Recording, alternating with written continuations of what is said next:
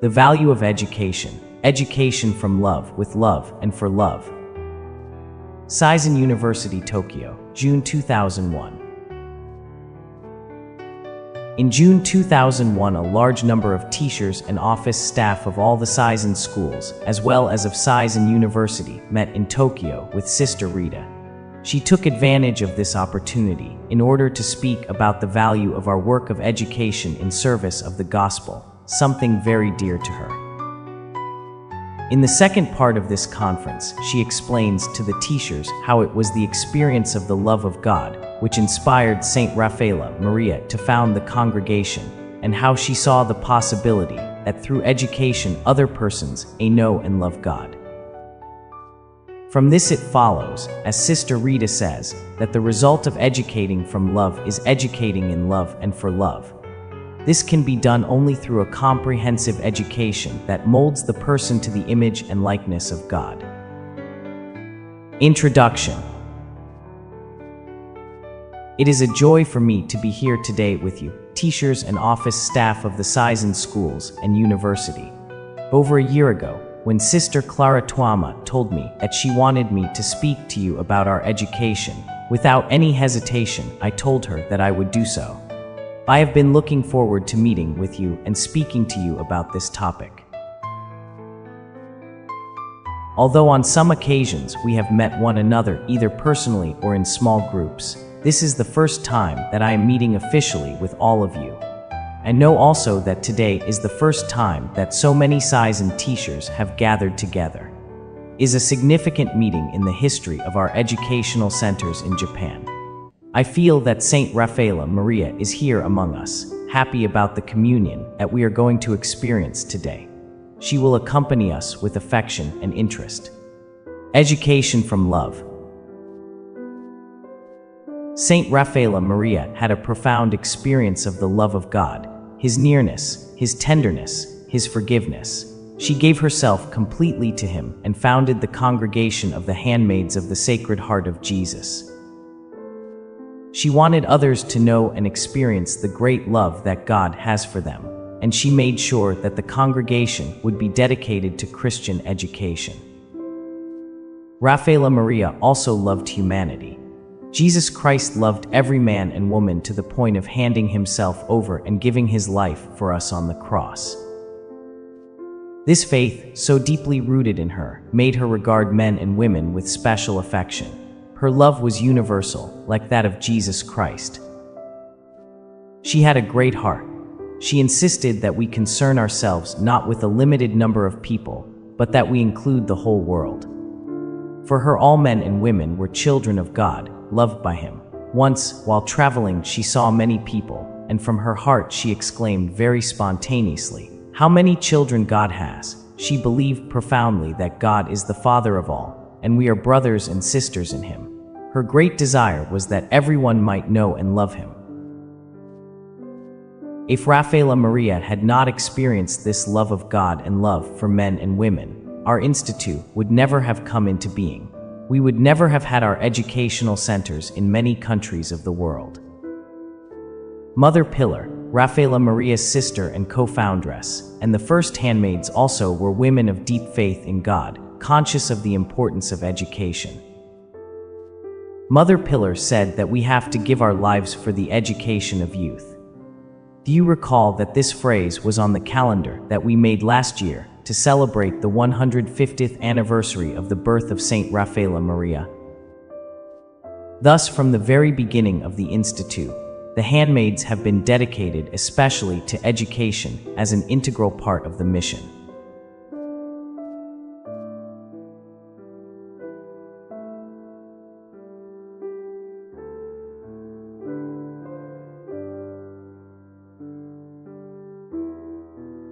As I reflect upon these handmaids from the era of the foundation of our congregation, I am also reminded of those missionary handmaids who came to Japan, and in spite of a great deal of suffering and sacrifice, proclaimed the love of Jesus Christ with their words and above all with their lives.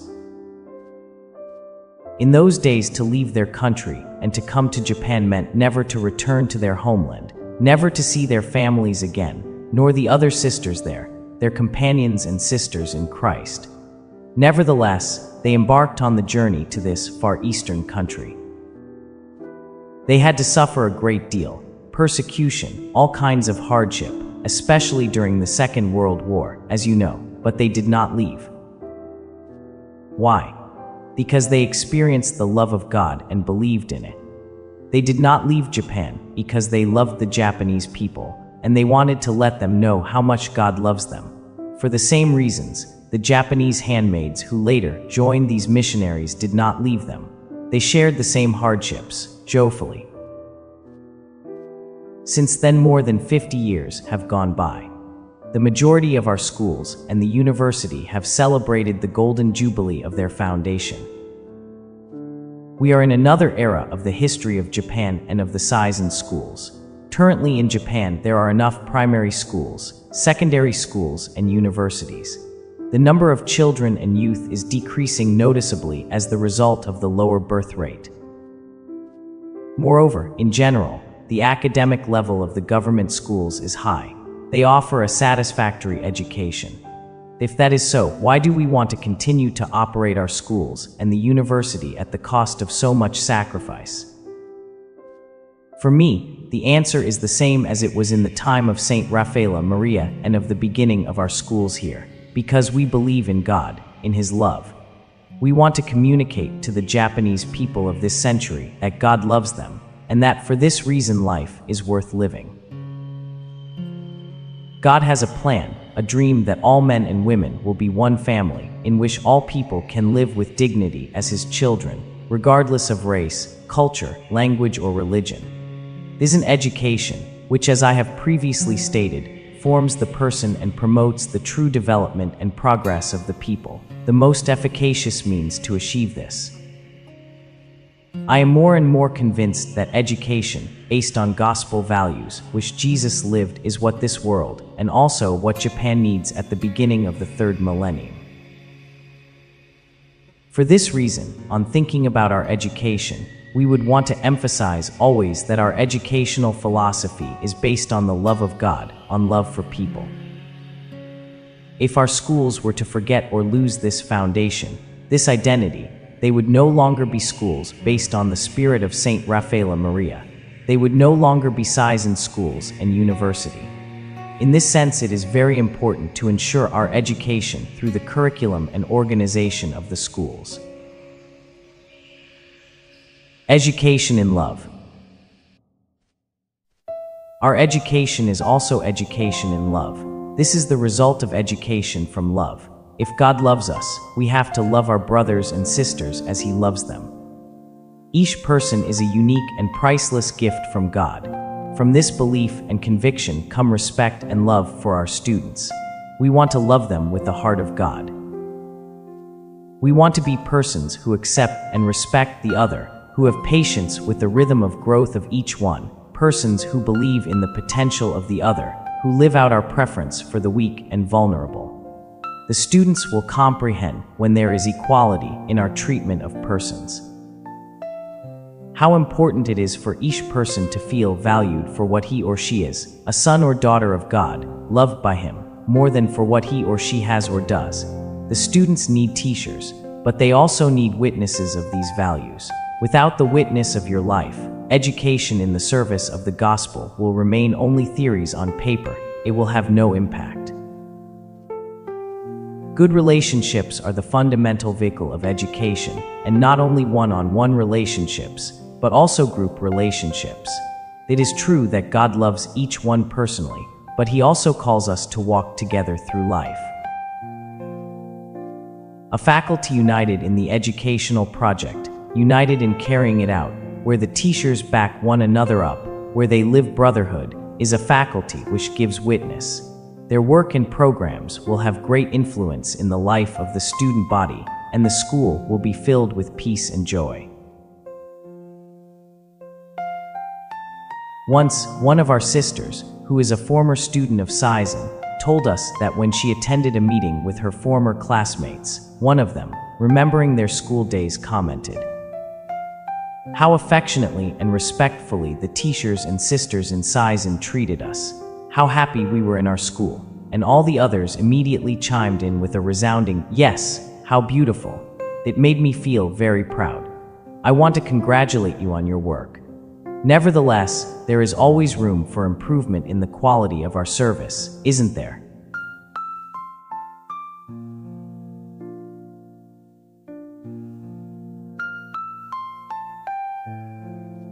Education for love. We educate our students for love. That is the goal of our education. We try to form people who love God persons who know how to approach Him humbly and confidently, thanking Him for all the good things they have received. At the same time, how important it is to teach them to love themselves. A person who grows in healthy self esteem is a person who will live happily, will love even in difficult situations, and will give the best of herself to others. We educate, of course, so that our students may love others, this world needs men and women who believe that we are all children of God, that we are one family, and who act according to this belief. In our education, we try to form people who know how to respect the dignity of each person, to look for the good in others, open to pluralism, builders of peace and reconciliation, capable of dialoguing with all and living communion. It is essential, especially now, to educate students so that they may feel responsible for promoting justice and love, in solidarity with the poor and the weak. In the world there is a growing poverty, the consequence of globalization and neocolonization. Each time that I visit the developing countries, I find them in a worse situation. This is heartbreaking, it is a challenge for us to continue to labor in Japan to make people aware of this broken world, so that our students may commit to building a more just, more humane, more fraternal world. I realize that you give a great deal of importance to this aspect. To achieve the goal that our students may love God, love others, and love themselves, our education is comprehensive. It cultivates all the dimensions that comprise a person created in the image and likeness of God. It is an education which frees and personalizes, which leads them to be free to love, rejecting selfishness and the influences that would impede them from doing this.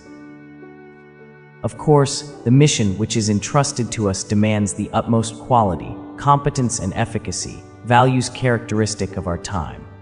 In our centers, we strive for an excellence that is not only academic, but also a human excellence in the fullest sense. Before concluding, I want to end this talk with the words of John Paul Roman II in his apostolic letter, Novo Millennio Ineunte, which he signed on January 6th of this year, on the closing of the holy year of 2000. I am sure that you know that last year, 2000, we celebrated 2,000 years since the birth of Jesus Christ. It was an extraordinary experience of faith, of the universality of the Church. In this letter, the Pope exhorts us to put out into the deep, now, at the beginning of the new millennium. A beginning is always a grace, and if we are in the dawn of the third millennium, responding to the call of the Pope, we will go into the deep, in our lives, in the life of our schools and of the university. As we do this, the Pope invites us to remember the past with gratitude, to live the present with passion, and to look forward to the future with confidence. This is beautiful. Remember the past with gratitude. How many things we have to thank God for. He has given you your vocation as teachers. He has given us this beautiful mission of guiding young people for many years during a privileged time in their lives. The fruit of your work will come later on, in adulthood, when the persons have matured, but you will have the immense satisfaction of having guided their first steps, of having helped to lay the foundations, of having collaborated with God in this most beautiful work, the formation of persons. I am grateful also to everyone who up until now has worked in the Seisen schools and university. Thanks to them, these seeds that the first handmaids sowed in the midst of much suffering and sacrifice have grown and have become a great leafy tree. How many collaborators and benefactors have helped and supported us? All this is reason to give thanks to the Lord.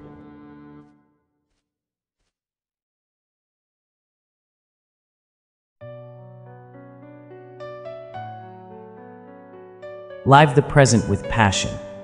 We want to dedicate ourselves passionately to education, convinced that our work of education is a valid contribution to Japanese society and to the world.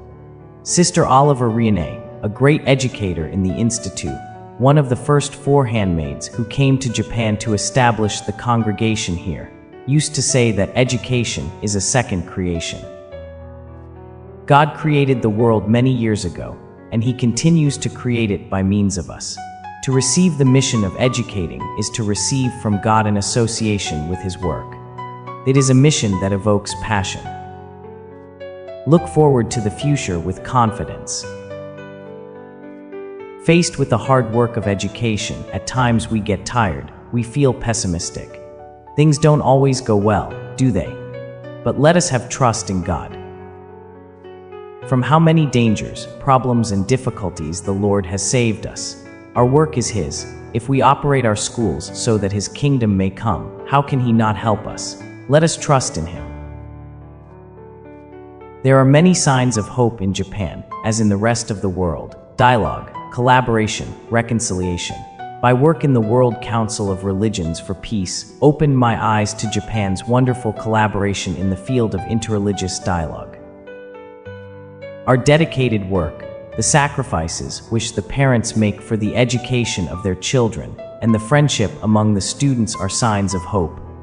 I remember the scholarships sent for the poor children in our schools in Bombay and Cochin. I am grateful for the sacrifices of the students in Kamakura. The beautiful kindergarten on the outskirts of Naga has been made possible thanks to generous help from here. With this gratitude, passion, and trust, we will put out into the deep in our education in service of the gospel. It is a fascinating adventure. We already have the oars in our hands. I want to end this talk by thanking you for having come today, a Sunday, and some of you have come from very far. Thank you. Each day I pray in the presence of Jesus in the Eucharist for our sisters and for the persons with whom they work.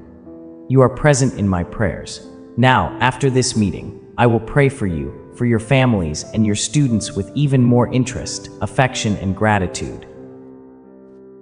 Too worked for several years in schools in England, in Ireland, and also in India. So, I consider myself one of you. Although I now am involved in the government of the Institute, encouraging the sisters, organizing meetings, and writing letters, I consider myself an educator because of our vocation as handmaids. I count on your prayers for me. Let's help one another to build a more humane and fraternal world through our dedication to education in service of the gospel and to the heart of God, from love, in love, and for love. Leave the present with passion. We want to dedicate ourselves passionately to education, convinced that our work of education is a valid contribution to Japanese society and to the world. Sister Oliver Riane, a great educator in the Institute, one of the first four handmaids who came to Japan to establish the congregation here, used to say that education is a second creation. God created the world many years ago, and He continues to create it by means of us. To receive the mission of educating is to receive from God an association with His work. It is a mission that evokes passion. Look forward to the future with confidence. Faced with the hard work of education, at times we get tired, we feel pessimistic. Things don't always go well, do they? But let us have trust in God. From how many dangers, problems, and difficulties the Lord has saved us. Our work is His. If we operate our schools so that His kingdom may come, how can He not help us? Let us trust in Him. There are many signs of hope in Japan, as in the rest of the world. Dialogue, collaboration, reconciliation. By work in the World Council of Religions for Peace, opened my eyes to Japan's wonderful collaboration in the field of interreligious dialogue. Our dedicated work, the sacrifices which the parents make for the education of their children, and the friendship among the students are signs of hope. I remember the scholarships sent for the poor children in our schools in Bombay and Cochin. I am grateful for the sacrifices of the students in Kamakura. The beautiful kindergarten on the outskirts of Naga has been made possible thanks to generous help from here. With this gratitude, passion, and trust, we will put out into the deep in our education in service of the gospel. It is a fascinating adventure. We already have the oars in our hands. I want to end this talk by thanking you for having come today, a Sunday, and some of you have come from very far. Thank you. Each day I pray in the presence of Jesus in the Eucharist for our sisters and for the persons with whom they work. You are present in my prayers. Now, after this meeting, I will pray for you, for your families, and your students with even more interest, affection, and gratitude. I too worked for several years in schools in England, in Ireland, and also in India. So, I consider myself one of you. Although I now am involved in the government of the Institute, encouraging the sisters, organizing meetings, and writing letters, I consider myself an educator because of our vocation as handmaids. I count on your prayers for me. Let's help one another to build a more humane and fraternal world through our dedication to education in service of the gospel and to the heart of God, from love, in love, and for love.